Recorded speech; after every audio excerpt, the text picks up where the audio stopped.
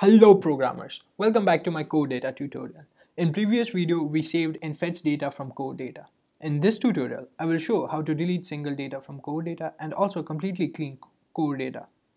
In third, in third part, which is the next one, I will show how to fetch certain elements from core data. So let's get started. This is my previous project from the previous tutorial.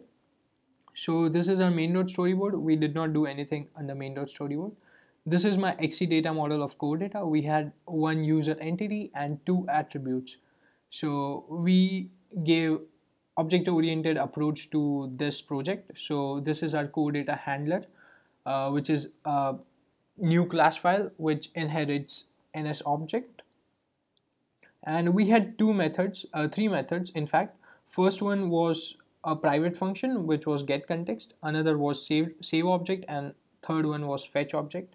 I just added this comments so when I upload this project you guys can sort out which part is from which video tutorial. So this is this part was in video part 1 and in this tutorial we will delete single object and clean delete whole core data. So let's get started. Our first function will be function delete object.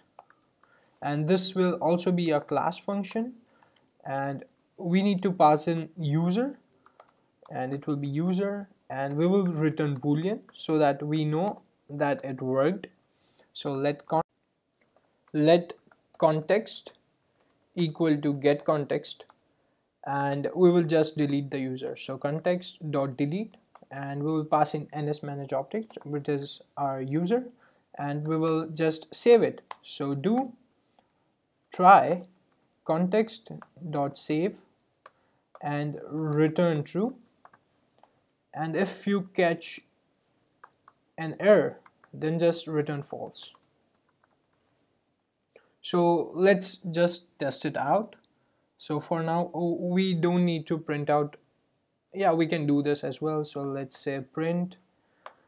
Mm -mm, before delete and let's do after delete as well. So let's say core data manager handler dot delete and we will pass in a random user. Let's say user number one and we will fetch the objects again and print it out. And just just paste it over here and fetch objects. This will be after delete. And we don't need to delete the user again. So let's run the application. Okay. Okay this should be wrapped unwrapped. So now let's run the application.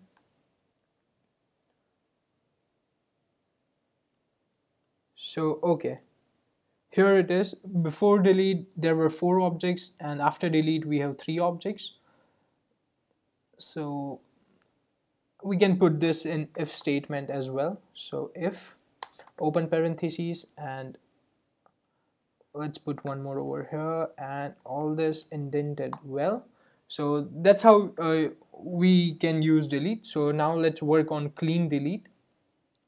So it will be core data handler and we need to create one more function which will be class function as well. Class function clean delete. We don't need to pass in anything and uh, we can just return boolean as well. And let's say let context equal to get context and let delete equal to ns batch delete request uh, don't select batch delete result.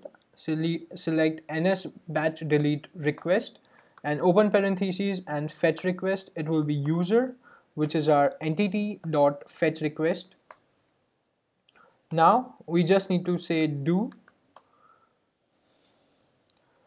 context dot execute and we need to pass in a request which will be delete. And this throws an error so we will say try. And if it works we will return true. And if it doesn't work we will return false. I'll just put it bring it in between. So this is what we do. Now let's do this again. So after our before delete after delete this will be before single delete. And I will like stop making adding more data. So I'll just take this out and just say true so that I don't have to take out if statement and let me do that. You guys will get confused otherwise. So I just took it out and this one is for okay how about this one okay okay okay. That was it. So and great. So we are not adding uh, any more data and this will be after single delete. Okay. So if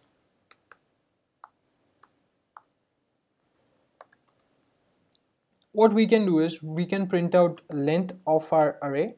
So print user dot count and if core data handler dot clean delete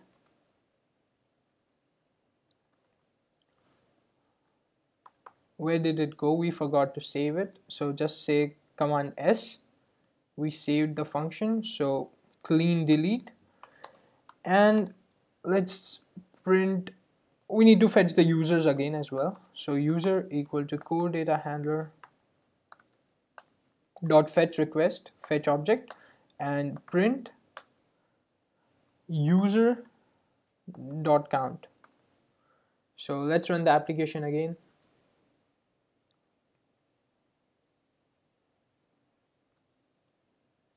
Okay we need one more bracket over here. So let's okay the application is running. So here here it is so before single delete we had three objects. After single delete we had two objects. And uh, before our clean delete we had two objects. And then after clean delete we have zero objects. So this is how you delete single object and clean delete whole core data. Thank you guys. Keep watching and don't forget to subscribe